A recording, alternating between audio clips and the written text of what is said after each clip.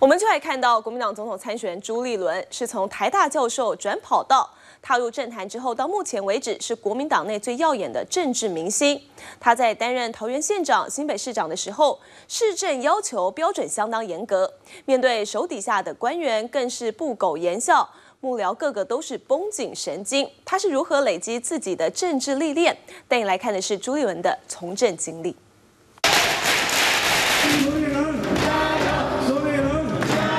希望跟所有的国民党党员一起找回我们创党的精神。这是一个从没输过任何一场选战的朱立伦。大家知影，朱立伦是财经的教授出身，财经的博士，代代的教授。我做立法委员，到做台湾县长两届八年。在大大小小造势场合，朱立伦挂在嘴边是他完整的政治历练：一届立委，两届桃园县长，而后入阁担任行政院副院长，再转战新北市长，政治路一帆风顺。很大原因和家人脱不了关系。公开放闪一下也不错。其实我们平常，嗯。也蛮浪漫的。总是到了选战最后关头，朱立伦妻子高婉倩才会现身。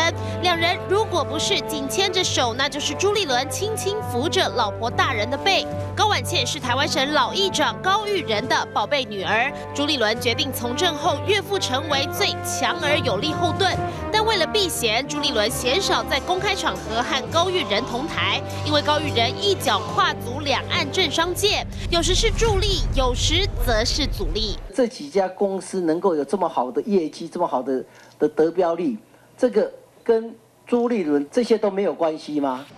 其实啊，这个我都没有听过参选嘛，一定有人会扯到，不管十万八千里都会扯到。不管做什么事都被放大检视，也因此，当朱立伦顺利成为县市首长后，对于市政要求特别高，做起事来格外小心。虽然在当桃园县长的时候曾说过不喜欢题字文化，不过实际走一趟桃园，还是处处可以看到朱立伦执政的痕迹。落款太官威，在任期后半段，朱立伦下令取消，只剩下棒球场展演。中心还看得到朱立伦三个字，而当时担任副县长的立委廖正景回想朱立伦在地方上只有四个字形容，就是拼命三郎。那时候一个台风来，把石门水库整个污泥的，没有水喝。深刻的印象就是说，他那时候重感冒，重感冒，那我就跟他讲说，你重感冒打点滴，你回家休息，我副县长来代劳好了。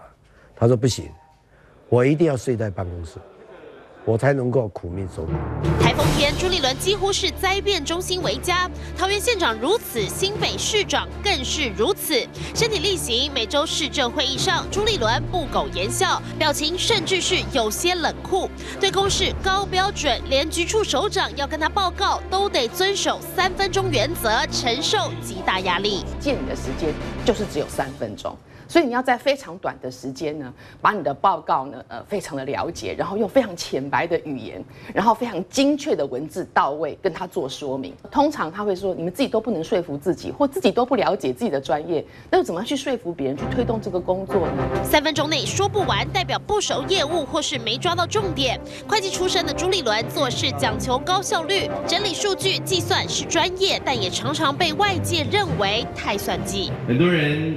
从政治的角度说，我可能很会算，其实我跟大家讲，我一点都不会算。公开场合卸下扑克脸，换上另一张神情，还腼腆笑着说自己其实不会算。各种场合，朱立伦角色转换自如，一直是党内最耀眼的政治明星。但没料到的一份危机解密，让朱立伦点大叫。这完全不是事实，我已经讲过了，这不是事实。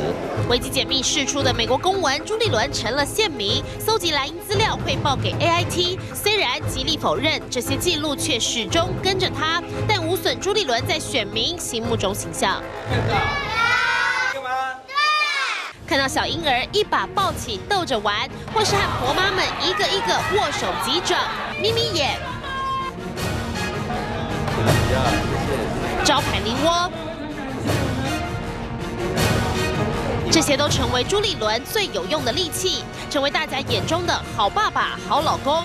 就连推动政策，朱立伦都要求要有人味，让民众有感。所以常常他都会提醒我，他说你是三个孩子的妈妈，你不是只是一个专业的局长，所以你在推动这些弱势照顾的时候，你不是只是从专业的角度，你更要从人的角度、民众的需求的角度来做这样的推动。这份人位从人民的角度出发，但私底下的朱立伦随时上紧发条，想冲出好政绩。只是总统和立委选举这一局，朱立伦要怎么算，也决定未来政治路还能走多长。